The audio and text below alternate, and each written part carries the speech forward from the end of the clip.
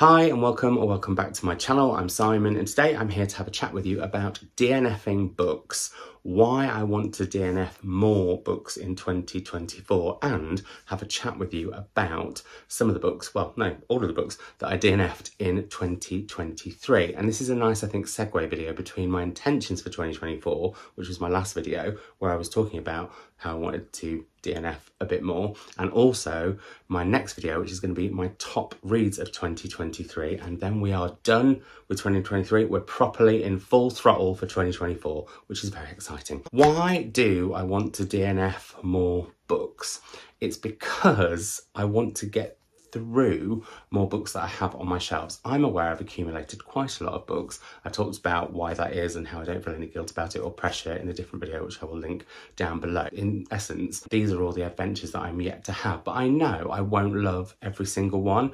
However, there is part of me that even though I often talk about how my granddad, before he died, said his only regret was finishing books he didn't enjoy and used to have a rule of DNFing a book by page 60 if he wasn't enjoying it. I don't always practice what I preach and I would like to more. And I know some people have sort of questioned that 60 page figure because they were saying, well, if you've read a book that's only going to be 120 pages long and you DNF at page 60, that's halfway through. Well, one, there's nothing wrong with DNF in a book halfway through. Two, sometimes you might DNF a book 100 pages in, 300 pages in, whatever, as I will discuss shortly.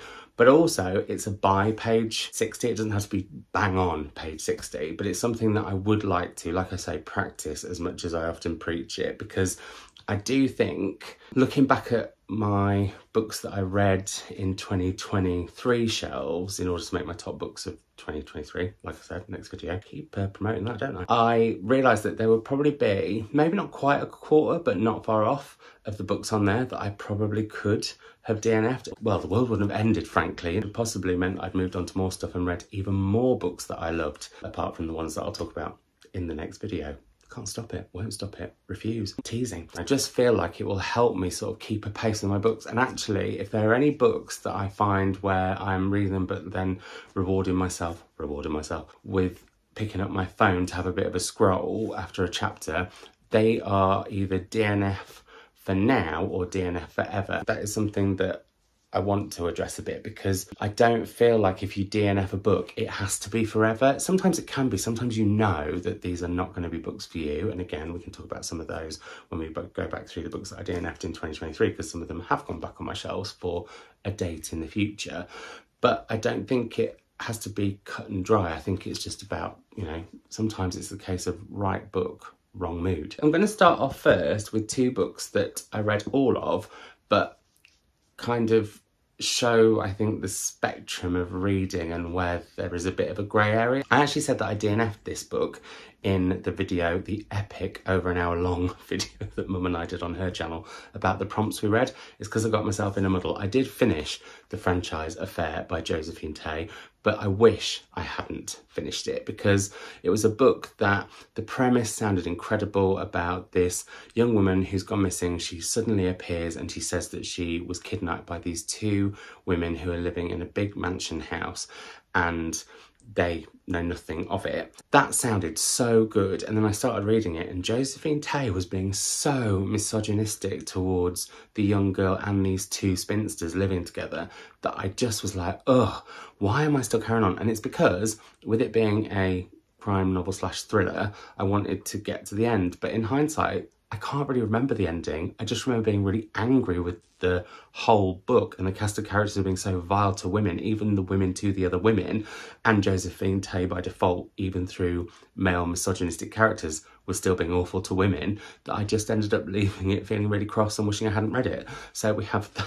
one. And then on the other end of the spectrum, I guess, is the books that we almost DNF, but when we finish them, we're glad of it.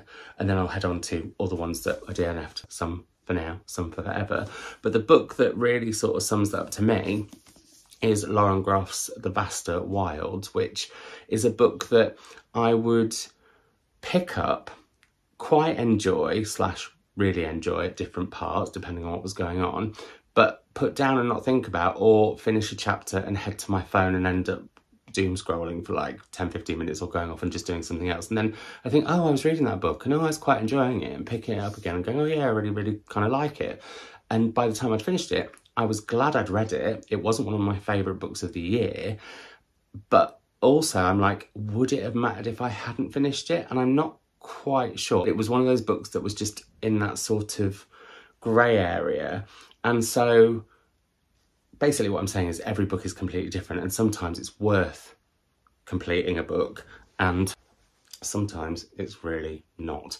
So yeah, but that's a slight aside. I'm sure there are books where you felt like that. And I do, that's where I guess it is a conundrum because then I think that's what stops me from being a bit more ruthless and stops me from practicing what I preach because I think, oh, it could be another Vaster Wilds. Or there is one book I can think of, I can't remember the name of it, something like On the Beach or something by Veronique Olmi. I'll try to remember to put the title down here somewhere. The final sort of three or four pages of that book are so incredible that it made it worth the real slow burn that that book was.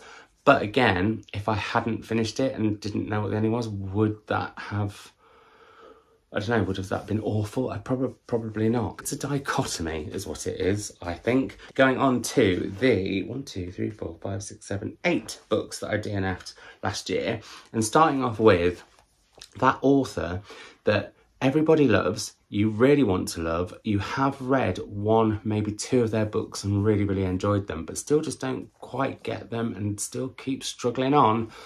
That's Eleanor Ferrante for me. This is Troubling Love, and I did not understand what the funk was going on. I got so confused with this book about, and the premise again was one that I was really intrigued by. It was about a woman whose mother, her mother's supposedly dead. I mean, I don't know if she ended up actually being dead or being alive because I didn't finish the book, but there was this thing within it that sounded so intriguing to me and kind of how she reacts to this and then how she goes and tries to find out more about her mother that she didn't know but I just got so confused by all the different characters and what everyone was up to and all of their different motives. I was like, nah, this isn't for me. For me, the only one of hers that I've really um, loved is the one. Why have all the names of books gone out of my head? The Lost Daughter. There we go. I do have a couple more of Elena Ferrante's books on my shelves. I just seem to not quite be able to give up the ghost with her and move on, but maybe it's time. What do you think? If I've only liked one out of, say, four,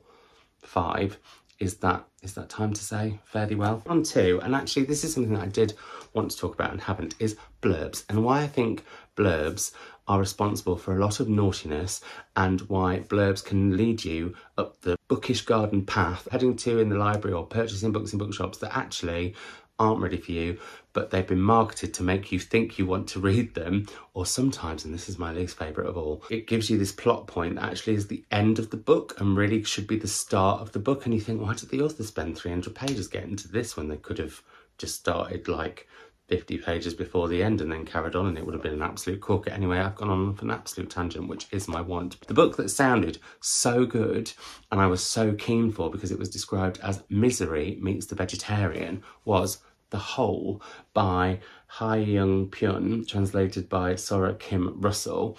And this is about a man who's in an accident and he um, his wife dies in the accident and he wakes up at the hospital and he keeps seeing these really odd things. And I was like oh my god this is going to get really really dark and creepy.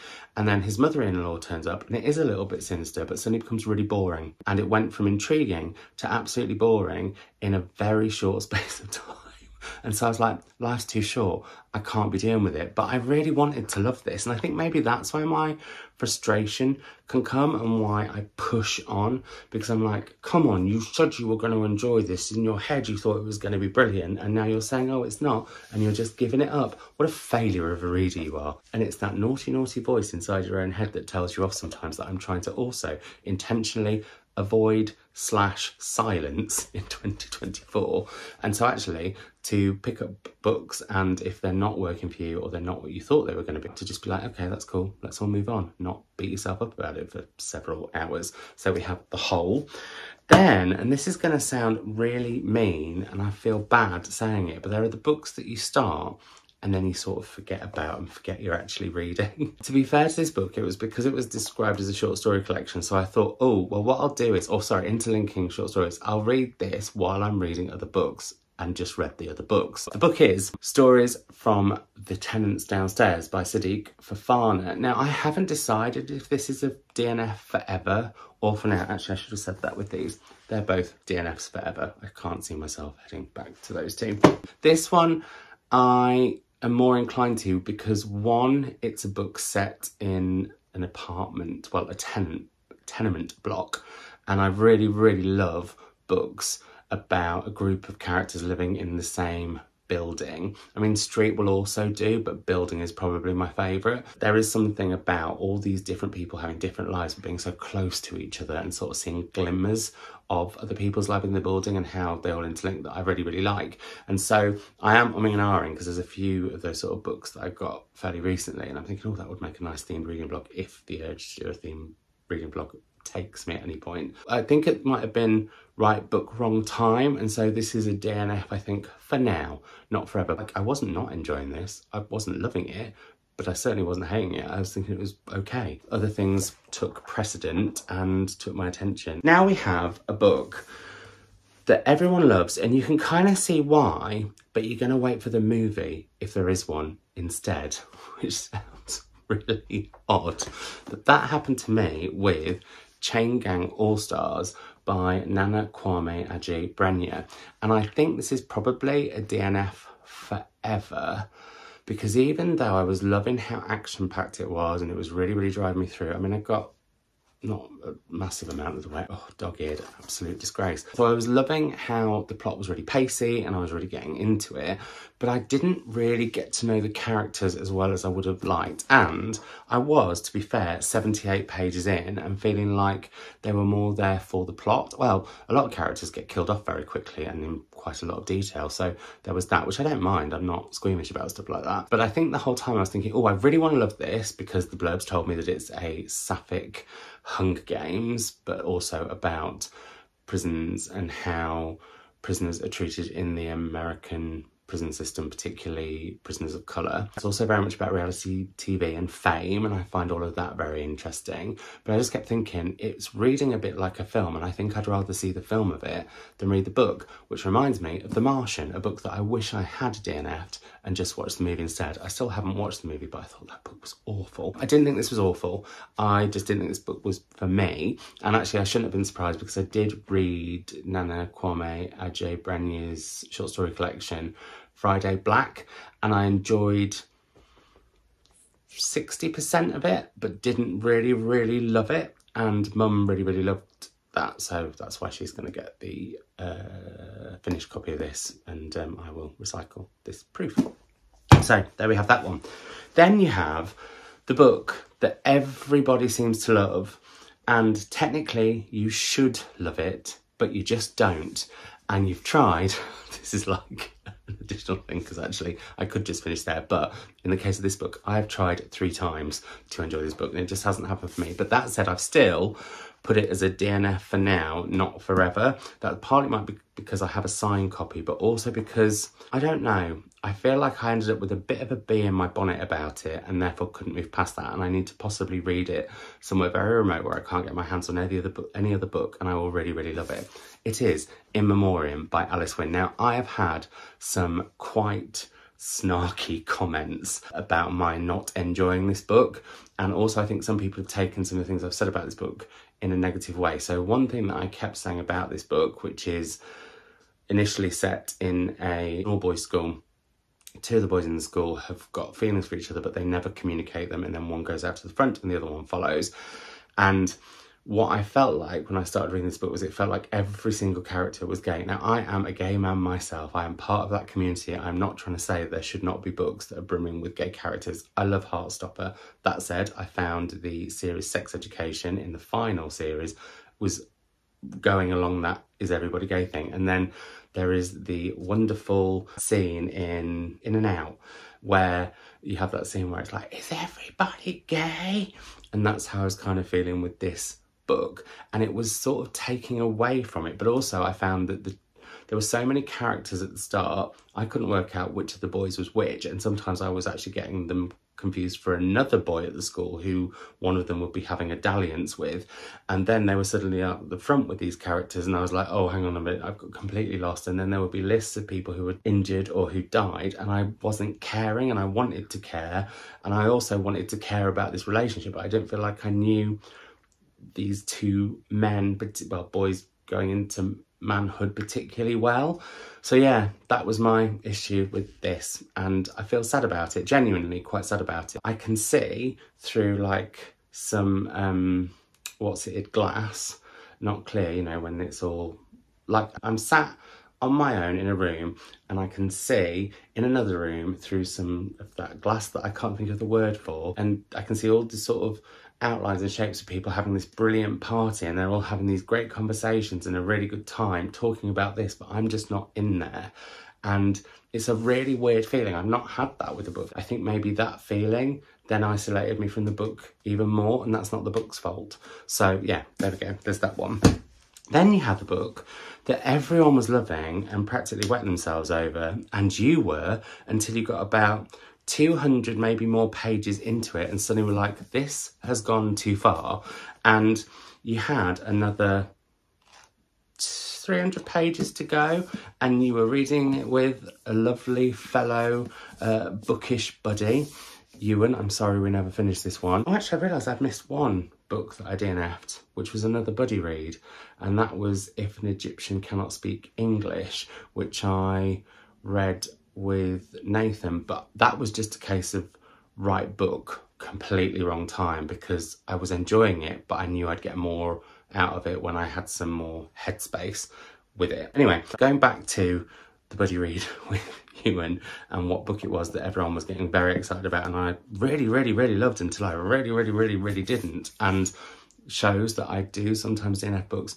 way past page 60 it's Bret Easton Ellis's The Shards, and this on so many levels was working for me. Bret Easton Ellis is reflecting on his time as a student when he was had started writing and stuff and he was starting to experiment with his sexuality and working out who he was. There was a um, serial killer in the area and it's how they all became embroiled and you are questioning who the serial killer is within the group and also you're questioning the reliability of Bret as a narrator and I love a book with an unreliable narrator and I really like the meta-ness of Bret Easton Ellis writing about a character called Bret Easton Ellis who was writing the books that Bret Easton Ellis has yet some of it was fictional. Well a lot of it was fictional um, but also clearly some of it was autobiographical. I loved all of that but then there was one scene involving a dead body where I just thought I know you've been trying to gross me out quite a lot along the way and you are pushing and pushing and pushing me but you've just pushed me too far and I've gone over the cliff and I can't go back. I have seen people raving about this and I can see what they mean, but for me, that scene was so questionable and so ugh, and not even just like uncomfortable and also I couldn't even see the reason for it. I think that's what annoyed me. It felt voyeuristic to a really uncomfortable level. I should have possibly just got over it and moved on and sort of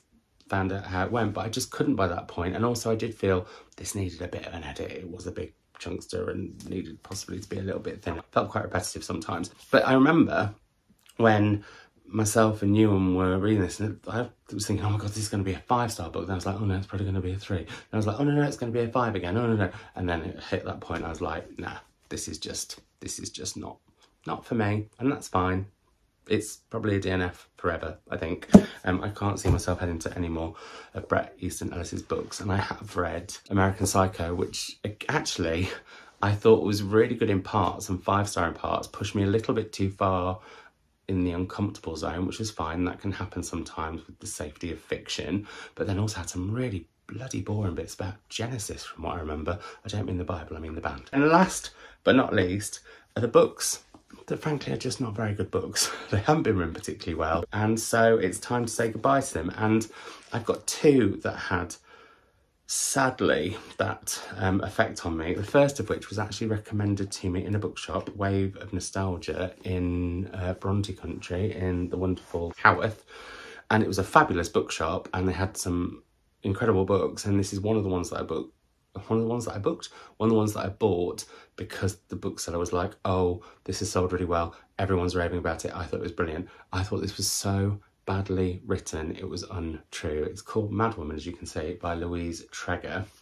And on the well the blurb again sounded incredible because it's saying in 1887 young nellie bly sets out for new york and a career in journalism determined to make her way as a serious reporter. I don't usually read blurbs on my channel if you're new. If you're new hi by the way. And if you've been here a while hi obviously and hello and lots of love. Anyway moving on. She wants to be a serious reporter down to her last dime and desperate to prove her worth she comes up with a dangerous plan to fake insanity and have herself committed to the asylum that looms on blackwell's island. There she will work undercover to document and expose the wretched conditions faced by the patients.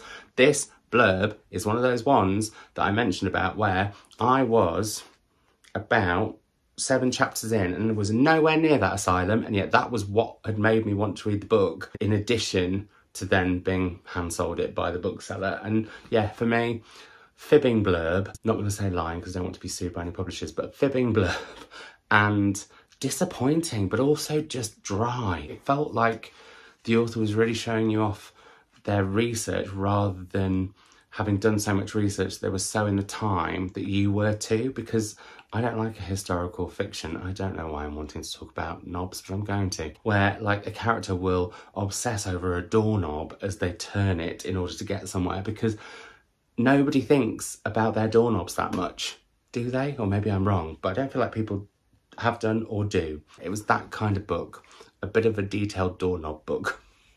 There's a whole new genre. And then the other one was one of the books that I started at the end of the year and was really excited about because it was, I love books set on trains. I really, really love train journeys. I never read on a train like I intend to because I'm far too busy being nosy out the window, but I do love books set on trains. Anyway, this is the book that I started that was set on a train, Murder on the Christmas Express by Alexandra Benedict. And I picked this because I thought, oh, this will be a fun read over the festive season. I don't pick Christmassy books up that often. And so maybe the fact it was a Christmassy book could have been what stopped me, but it wasn't. Because actually, I was very much in the mood. I was really excited about a murder mystery set on a train that's going from London to Scotland on the sleeper, which I've always, always, always, always, always wanted to do and one day will. And and yeah, I I just hated it. so I think alarm bells rang for me a little bit when it started off with, oh, there are Kate Bush uh, song titles hidden within this book, sometimes really well, sometimes a bit blatantly. Look out for them. Oh, there's anagrams that you can find in this book. And I was like, mm, this is trying possibly a little bit too hard. But I went with it and I spotted a couple of the Kate Bush ones. However, I just didn't gel with the writing. The lead detective, oh well no, she was a retired detective who's trying to get home to see her daughter and her wife have their baby. That kept being pushed a lot, like the daughter's a lesbian, the daughter's a lesbian, but also the main uh, protagonist character, detective lady, I don't think I've ever read someone be described as bisexual so many times in such a short space of time. It just felt like it was trying really hard to show how with it it was. And I was like, you don't need to. You could have just mentioned that once, maybe twice max. We get it. It's fine. And also, there were, I'm going to see if I can find the page because there was just so many analogies around snow. There's one point where, oh, here we are. She could hear the distress in Heather's voice as she talked with the midwife, whose low, reassuring tones flowed like the warm water that filled a birthing pool. Her daughter's about to have a baby, a little bit too on the nose, as was the constant referring everything to something snowy. And then one of my least favourites was also the lights of London look like fairy lights lights looking like lights. How strange. I really, really, really got miffed off with this book. I mean, I almost started to, you know, when sometimes you're really loving kind of hating something, but I don't think that's a very healthy way to uh, read. So yeah, that's where we got to with that. So there we are. Those are the books that I DNF last year there were some of my thoughts on why I want to DNF more. I'd love to know your thoughts on DNFing. Let me know any books that you DNF last year. Were they ones that everyone else was loving? Were they ones that everyone was loathing and you just decided to give them well I don't think I've done that actually. But also, what are your thoughts on DNFing if I haven't said that already? And do you have any rules around it? Do you do it often? Do you barely do it at all? And obviously, keep the conversation going with all those questions down in the comments down below. But also, my Patreon, my Instagram, and my wishlist and all those things are linked down below if you'd like more stuff to go and head to. If not, totally fine. And I will see you to talk about my top books of 2023 very, very soon. Bye.